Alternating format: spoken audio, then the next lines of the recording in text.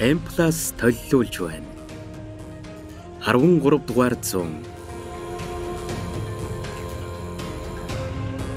Зохиолч Монгол улсын соёлын гавьяа зүтгэлтэн Дорж зовдын анги болд. Зохиолыг үнссэн Баатар Жавын дархан сүх.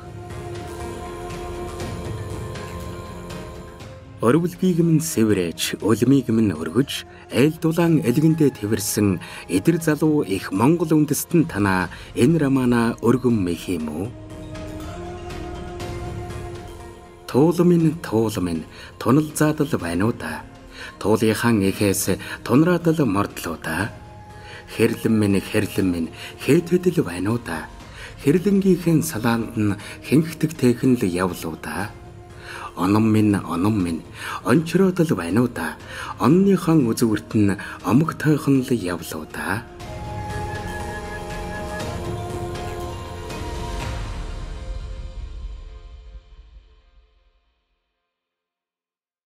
Хааны зөвлөгөө нь нар ургаж бүхийд эхлэв. Мянганы ноёдыг 10 10-аар тус тус бүлэглэн 15 хэсэг болгон цагаан эсгий дээр завлуулж 10 мянгадны өмнө төмтийн ноёд сууцгаах бөлгөө. Хүрээлэн суугч ноёдын голд гурван давхар цагаан эсхий дээрх синтед хаан морилж дөрвөн талд нь хааны үгийг чангаар дамжуулан хүргэх үүрэг бүхий хэшигтний дөрвөн зуудтан тус бүрийн туг хяврыг өргөн зогсно. Их хаанаас дөрвөн алд зайд тойруулга эсхий давхарлан дэвсэж зүвчит цагаатай өгөөдөө тулуй дөрвөн хан хөвөөд хасар бэлгүүдээ шихи худаг зэв мухулай сүбэдэ тэргүүтэн тус тус эгнэн сууцгаав. Хааны өлмийн тус газар хэвтэж байгаа том орг саарал чоныг харин хэнч харсангүй. Чон уй уй урт улаан хэл суналзуулж эвшэн. Түүний баривгар савар доор шилвэсний хэр биетэй луу сүүл моргнуулан урагш зүтгэвч мултарч үл чадна. Тэр луу тэн хүч баран зүтгэж буйг нь чон мэдэрсэн шинжгүй хэвдэх аж. Хаан хэсэг зуур ноёдыг тойруулан харж сууснаа. Олон үе дамжуулан монголчууд биднийг хагаралдуулан тэмцэлдүүлж дундаас нь ашиг унган эцэг дээдсийг минь дормжлон гутааж асан алтан улс өнөө бидний өвдөг дор байна. Тэдний омог сүр ихтэж өндөө хотын хойд хагас бидний гарт орлоо. Цаашид хэрхэв гэдгийг зөвлөлдөхөөр ноёд та бүгдийг урьж цуглуулсан бэлээ.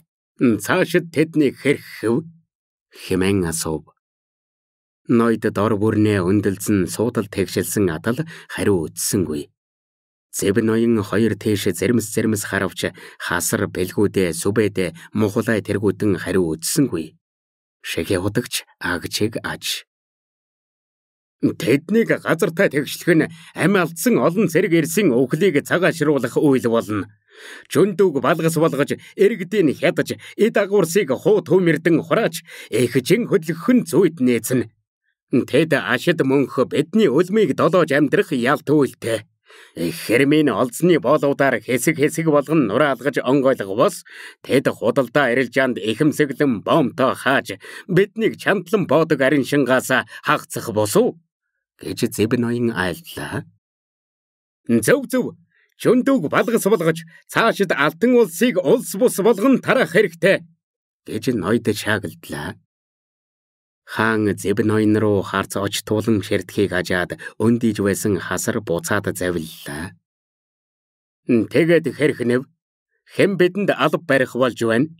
гэсэн хааны зэмлэл дүүрэн үгсийг сонсоод эргэн тойрон ажин төжин болов. Зэб чи баахан төрөмгийн түргэн зантай юм гэхээс өөрийг альдсангүй. Ноёдод ор бүрнээ тунга Өнөө бидэнд алтан улсыг хэрхв гэдгээс илүүтэй цэрэг ардаа хэрхвэ гэдэг эрэмгийн асуулт байна. Энэ тун эрэмгийн төрөмгийн асуулт шүү. Бэд нутаг руу дараалан хоёр жин хөдлөглөө. Гэвч тэмээдийн тоо цөөн байна. Тангуудаас туулгасан тэмээд нааш хөдөлсөн. Жин тус бүрийг 3000 тэмээ болгон тоог нэмнэ. Алтан улсынхан зөрүүдэлвэл цааш аяллаа үргэлжлүүлнэ. Тиймээс цэрэг бүрийн ачаа барааг ар гэрэл үн зөөхөд бэлд. Үүний тул мянгатууд хоорондоо зөвлөлд. Төмтийн ноёдууд үдшийн зоог барих үед хэрхэн шийдснээ төмтдний хуралдайд айлдаг. Би та бүгдийн хүсэл зоригийг ойлголоо. Гэж хаан айлдаад боссноор зөвлгөн өндөрлөв. Өглөөний зөвлөгөөн хэдхэн тогоо цай буцалгах хугацаанд болж өндөрлсөн бол үдшийн зөвлөгөөн сар шингэтэл үргэлжлэв.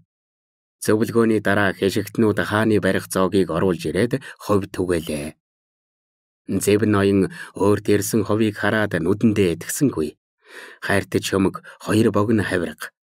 Бусдын өмнөх зоогийг харвал хан хөвүүдэд хонготой шаант хоёр нуглам сүүл. Өрлгүүдэд тавил ууц өндөр хавирга ёс дүүрэн аж. Зэбэж ишүү харж хөндлдөөд хугас сугалсан хутгаа буцааж төрөйлөв. Хаан харин түүн рүү харснаа мушин инэв хэлэх аж. Зэб чи юунд хутга төрөйлөв? Миний хүртээлийг чамдж байна уу? Хараад цадгалтав. Чи эрв сайдал улам байдлаа эзсэнгүй. Зэв чи миний дөрвөн мөчийн нэг. Гэтэл хугарахад ойрхон байна. Чи хугарч унвал гурван мөчтөө би хаачна. Энд сууж явах үедээ би боорчиг ихээр үгүй лээ. Тэр бол зургийн ноён Төм төм мянгатуудыг хэрхэн хуваарлаж, хаана хүч төвлөрүүлж сэмгэлж, хаана хурдтай хөдөлж, хаана хориглон суухыг ямар ч нөхцөлд харж чадаад зөвлөдөг болгоо.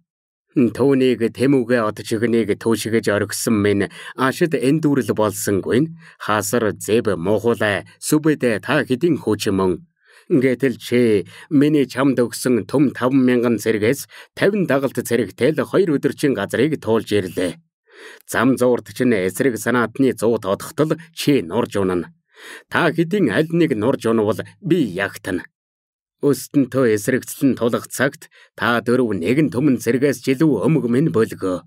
Иймээс хойшод хичээх түн. Нөгөө тэгүр чи баахан адгуу төрмгийн түргэн зантай. Эн чин өхлийн амруу гүйж орохтой агаарад ил. Одоо зэбийн хэшгийг азар хэмээн хэшгтэн дөгөөлөв. Зэбэ мошин инээмсэглээд хаан эзэнд талархъя. Эндэгдлээ залруулнаа. гэвэл хаан Мохлай сүбэдэ борч зэб. Та дөрвийн хувьд би эзэн хаан бус. Анд нөхөр тэмүүжин чин мөн. Хасар бэлгүүдэ шигээ хутгийн хувьд ах нь мөн. Иймээс хойшид бэштийн дэргэд биш бол нэрээр дуудан дотн яв. Түүнэр анхаар дуудан энэгшиж яв. Хан хөвөөд сонс. Миний удаад эд ахс дээцийн үгийг сонсож ёсоор яв. Хэрв зөрчвөл та нуусыг занчих жолоогч нь татах хэрэг эцэг миний удаад эд ноёдод өгч байгааг минь анхаар бодож аясаар яв. Харин одоо нааш анхаар гэд араасаа урд сахал бүхий хараажаар өөр зүсмийн хүний алтан баримл гаргаж ирэв. Баримл үзүүр тоохой өндөр аж хаан алга таашвал хэшигтнүүд том том торгон дээр овоолсон үнэт чулуу гулдмай алт тэргүүтэн эд баялагын зүйл зөөсөөр өргөөний голд овоолов. Үүнийг яанав гэж хаан асуувал эд бүгд таны агуурс бүлгөө хэрхийг таал мэднэ гэж шэхи хотог хариулжээ. Би бас тэгж бодож явв. Эндүрлэж ганц хаанд эд агуурс энэ мэт овоорвол улс орон хэврэгчдэг болохыг алтан хаан бидэнд сануулав. Гойрончд эзнээ өмгөөлдгүү аж.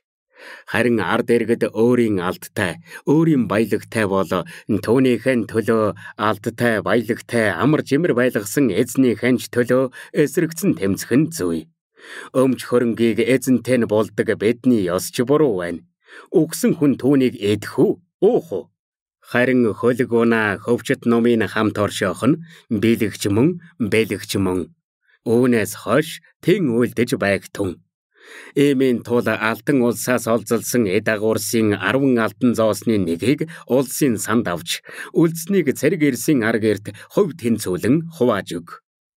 Цагийн уртад алт алт хэвээр чулуу үзэгслэн төгөлдөр үн цэнтэй авч чулуу хэвээр л үлдэх аж. Түүнийг хүн л үйлдэн хэв янзад оруулан биш хүний шунал дэвийг өөтгөн.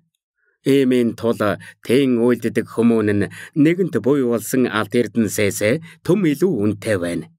Нөгөө нэг нь бидний өдөр тутмын эддэг гутаар гурил нэг удаа зарах алт үнэт эрднээс ч илүү бодлог амьдлаг эрдэн байна. Эмийн тул хожим биш улсын нөлөө худалдааны аргад орохгүй тулд гутаар тарж гурил үлддэг хүмүүнийг олноор их нутагтаа аваачиж тариулбал зохилтон зэрэгцээ алж хядалгүй үлдээн хожим алба говчуур авч байх нь зүйтэй байна. Энэ газрын хүмүүс гутаарыг цагаан шар улаан будаа гэж нэрлдэг санж бэд үүнээс энэгш гутаар бус будаа идэж тэн нэрлэж занший.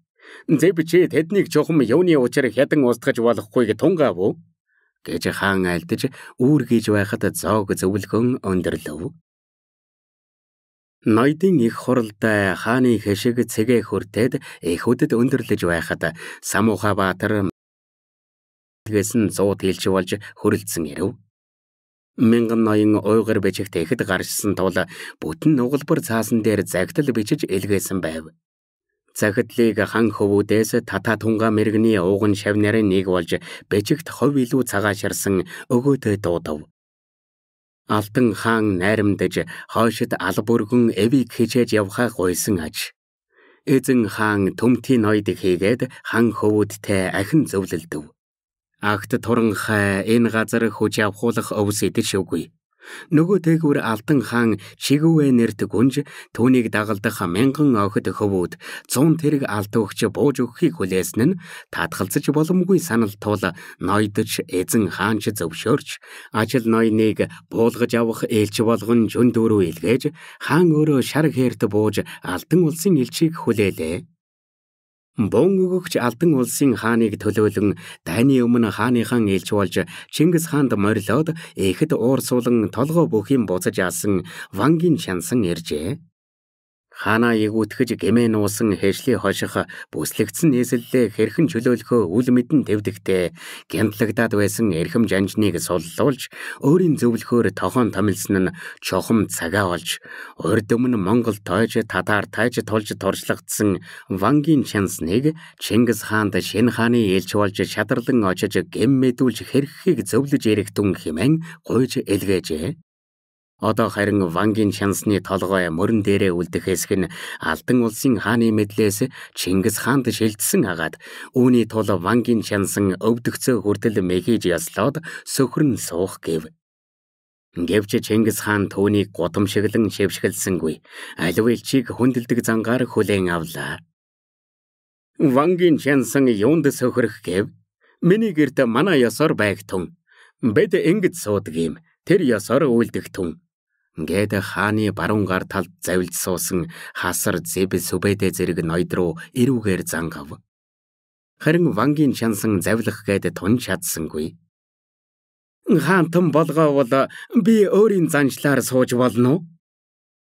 Таллаараа л бол гэж хаан зөвшөөрч харин бусад ноёд мушин инээмсгэлцгээв. Вангийн шансан Алтан улсын шинэ хааны бүх амлалтыг Чингис хаанд өргөлөө хаан дов дуугүй байснаа жил бүр нэг төмөн алд торго мянган алд хоргой. 10 тэрэг алд 2000 агт морд.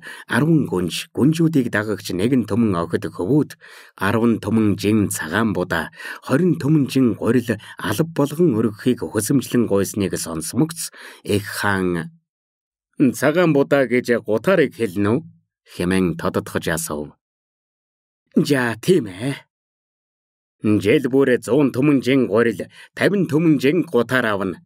Цагаан хэрмийн бүх хаалгыг нурааж байнга онгорхоо байлга. Харин тэр болон гүнж тэднийг дагагч төмөн охид хөвүүдийг хэн тэжээх болж байна? Дэми хоолны сав хэрэггүй. Түүний оронд ваар үйлдэгч, төмөр хайлуулагч, гутаар зайруулж горил үйлдэгч тус бүр 3 3 зүг жил бүрийн алба өргөхөд хамтруулан өгөхийг буцаж эзэндээ айлтгаад хариу яралтай ирж мэдэгд. Хэмээн зарлаглав. Таван өдрийн дараа Вангийн шансан бузан ирж Чингис хааны шаардсан бүхнийг Алдан улсын хаан зөвшөөрч найрамдаж байгааг ээлдэглээ. Чигүвэг зүжид өгч, дагагстаас нь 10 хятан охиныг Чигүвэгийн мэдэлд өгч, бусад охтыг шархтан асрах газар хөвүүдийг цэрэгт хуваарлав. Вангийн Чинсэн энэ бүх хуваарлалтыг харж мэлрэхдээ монголчууд тэр дундаа Чингис хаан өөрийнх нь эргэд хаадаас ямар их ялгаатай шудрагуу болохыг харж эцдийнхэн ялагдал гудам шиг юунаас үүдэлтэйг сайтар ухаарчээ. Гэвч тэр Чингис хааны хүсэлтийг хүлээн авсангүй. Хаан Өдгөө алтан улс урдын эрх ямба эвдүүлж их Монгол улсын албат боллоо. Чиний чудраг сэтгэлийг үнэлж жүндүү хотын захирагчаар тохоох бодолтой байна. Чи миний энэ хүсэлтийг хүлээн авч чадах буй? Их хаантан болгоо. Хэдийгээр алтан улс сольдож доройтсон ч би тэр улсын хаанд өргөсөн тангарахтай албат нь үлээ. Хоёр хаанд зэрэг үйлчлэх зүрх нь надад үгүй. Миний ам таны энждэх хоёр хурууны завсар байгааг ойлгож буйж тангаргаасаа няцаж тэрсэлсэнд орвол амиа таслуулах нь үр хойчийнхон өмнө өргөх хүч болох учиртай. Чи шударгаал бот байна. Бэ чиний хаан шиг бусдын элчийг алж талж дээрэмдэх заншилгүй. Чи тайван сууж бидэнтэй зоог барь. Зоог таван тансаг эдэний дээдээр эхэлж хуурчд хуурдаж бүжигч охид хун галуу айдал дэвэлзэн бүжиглэж эдээ зоогийн нэгэн төрөл зөйл мансуур уулан гэвэлзүүлэх дарс айдал зождод үйлчилсэн атал хоёр зөйл вангийн шансны сонирхлыг гойд таджээ. Хаан Сентийн зүн хөлийг эргэлэн тоглож бүхий хоёр арслан Харин баруун хөлийг урт урт 18 хос хөлдөө сов татгсан луугаар чимэглэж хийсэн бөгөөд анхандаа зүгээр л алтан чимэг мэт харагдаж асан тэдгээр амьтад яваандаа ам орж хөдлөөд байх мэт санагдсанаас болсон хэрэг. Хоёр арслан дээр дор орон эргэлэлдэж байснаа нэгийнхэн хоолойг хазах бөгөөд тэр бүрийд хоолой лувлагч арслангаас цус бус харин сүү эдэл цагаан өнгөж шингэн урсан гарна. Төвнийн сентийн ар хөлийн чимэг болов гэж таамаглам тогос олон өнгөд ганган өдөө дэвүрмэт сэвж ирээд хошуу сунган сорж уухаж Луун болохоор сувда нэг хөлөөс нөгөө хөл рүү шийдлэн нүдэрэлжилтэл хурднаар тоглож хөрвөв. Вангийн чансан энэ бүхэн арх хэтэрснээс болж үе хэмээн бодовч тэсгэлгүй нүдэ хурдан хурдан цавчилж хараад үл ханаж суутал хоёр дахь сонин зүйл анхаарлыг эрэхгүй татав. Тэр нь торгон гэвлүүрт бүсгүй бөгөөд таашаа хайлан богс холбилцуулан бүжгэн этгээд сонин ордом нь ер үзээгүй зүйл байжээ.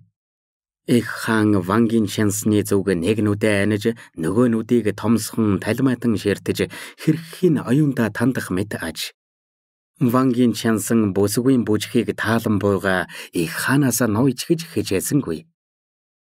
Гурван өдрийн дараа тэр бээр Чингис хаанд бараа болж доргын хошуу хүртэл хамт аялаж өвдгөө өнгөртөл мэхийн ясалж үдэн гаргахад хаан дөрвөн морь хөлгөлсөн хөнгөн цөөх тэрэг бэлэг болгон өгчээ.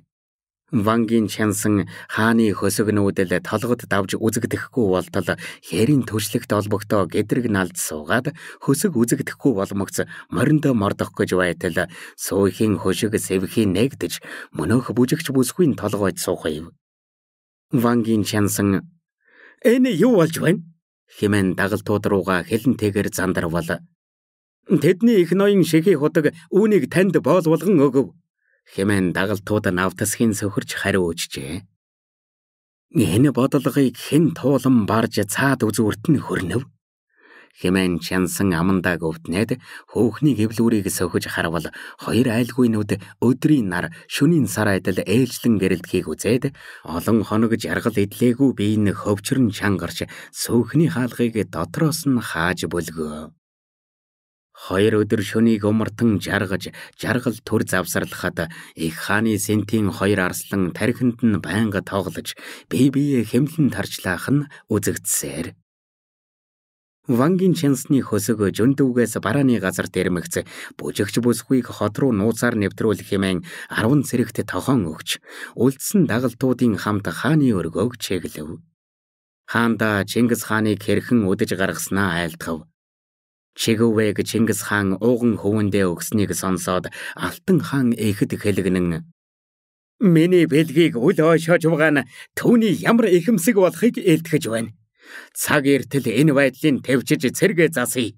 Гэхэд хааны цэргийн захирагч хэжлийн хоших эхэд тавлаж Ямар ч төшмөл эзний энд хөрдгүй бэлээхэн жишээ босуу гээд эхэд хөхөрхөд хаан яаж чадахгүй дэ хийл хорсон тэж ядав. Ордныг түүний цэрэг сахин хамгаалж байгаа билээ.